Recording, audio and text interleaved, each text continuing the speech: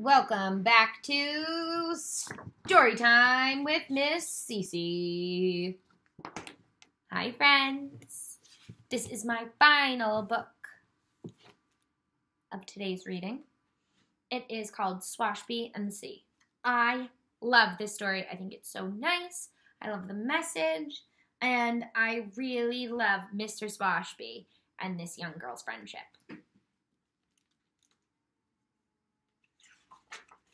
Swashby and the Sea. Captain Swashby loved the sea. The sea and he had been friends for a long, long time. She knew him in and out, up and down, and better than anyone.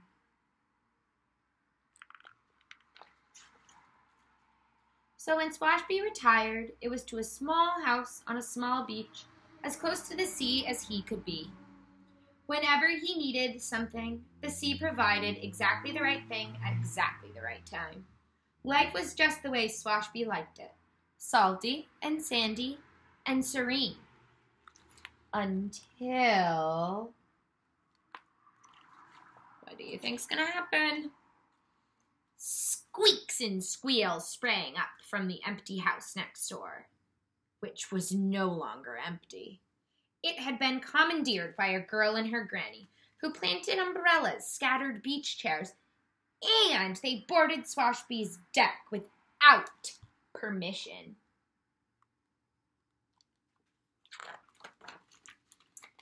Swashby battened down the hatches, hid when the doorbell rang, and fed their oatmeal cookies to the gulls. He didn't need neighbors. He didn't want neighbors.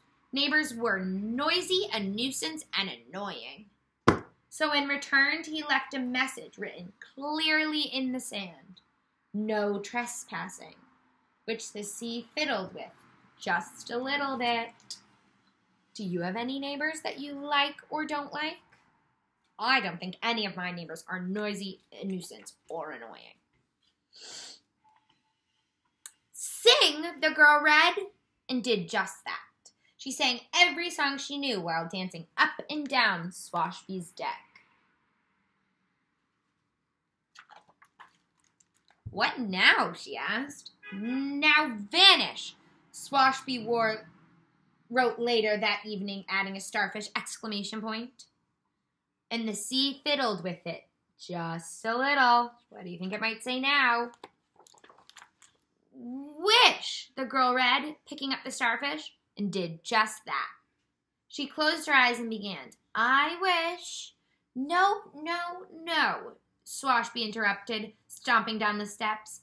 If ye mean to make a starfish wish, ye must say this. Starfish back to waves so blue, the sea will see a wish come true. How lovely, Granny said.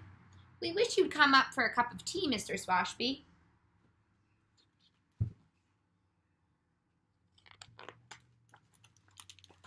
But Swashby wished to be left alone, so he grumbled and mumbled and hurried inside. He didn't need tea. He didn't want tea. Tea was civilized, friendly, neighborly. What he needed was a new message. Please go away, he wrote firmly in the sand. And once again, the sea fiddled with it, just a little. Play, the girl shouted, and did just that. With Swashby shells and stones, with his buckets and shovels, but her towers kept falling. Barnacle bottoms, Swashby muttered, marching out. You're doing it all wrong. Ye must not use the sun-baked sand. It's the sea sand that does the trick. And he showed her how to dig for the wet sand below. Do you like building sandcastles? I love it. Thank, but Swashby was gone. Before long, amazing sculptures decorated the beach. It's the clamshells ye should be using, Swashby called from inside. Come play, Mr. Swashby, the girl called back. Swashbys don't play, he answered, banging the shutters. Look at their castle. So the sea decided to meddle more than just a little. She inched her way up the sand and tickled the girl's toes. She nibbled on the sculptures and slurped away the bucket. The girl tried to grab it, but Look at me, the girl cried. Look at her, Granny gasped.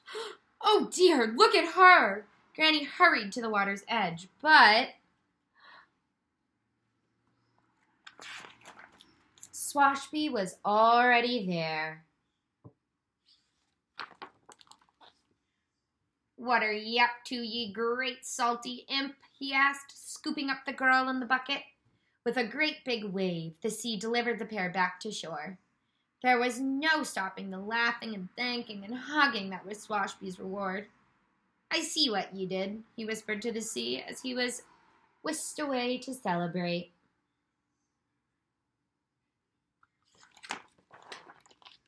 After that, it was easy for Swashby to have tea with the girl and her granny, and ice cream, and lobster, and s'mores on the beach. It was easy for him to share his special sea glass. It was easy for him to see that neighbors could be fun, and friends, and family.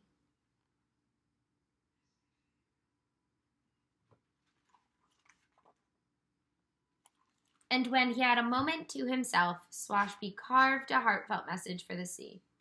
Thank ye, friend, which the sea fiddled with just a little. And it now says, the end. Do you have any neighbors that you consider your friends or even as close as your family? I know growing up, my neighbors and I were so, so close, and we all used to play together every day during the summer and after school. And they are some of the closest friends turned family that I have. All right, thank you so much for reading with me, and I hope you enjoy the rest of my stories. Have a good day.